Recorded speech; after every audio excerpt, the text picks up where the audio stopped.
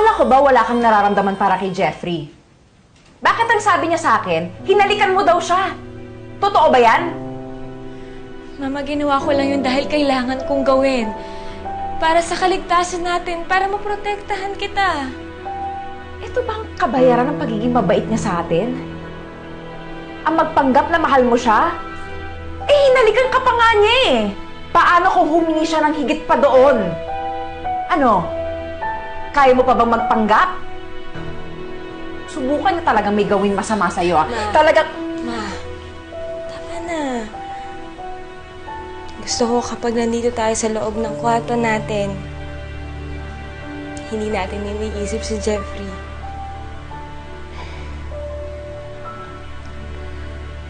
Pasensya na. Anak kita eh. Hindi mo mayaalis sa isang ina na hindi mag-isip sa anak. Lalo na't may umaaligid sa kanyang lalaki na hindi ko gusto. Ma, sige, ganito na lang. Gusto kong ipikit mo yung mata mo.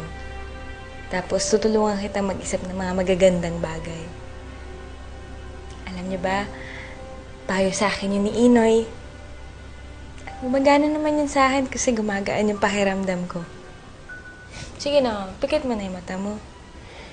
Sige.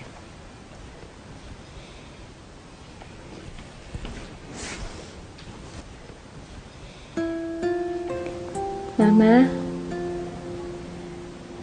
naalala mo ba yung isang birthday mo?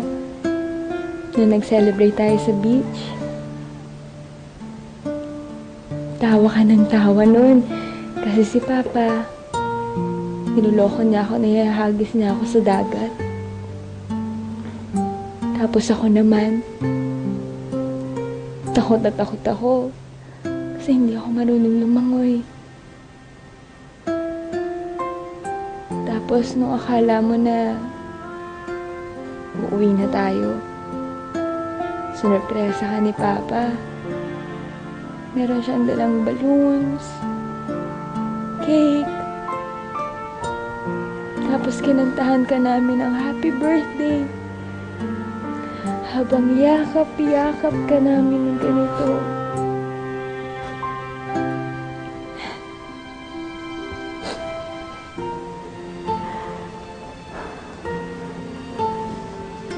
Mama?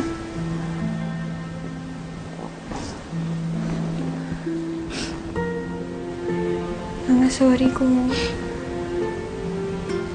napaiyak kita dun sa kinuwento ko.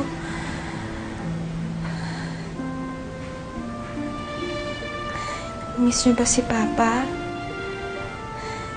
Naalala ko lang kasi yung kwentong yun dahil birthday niya na bukas. Namimiss ko ang papa mo. Pero masaya ako. Dahil sa wakas, kasama na kita sa birthday ko.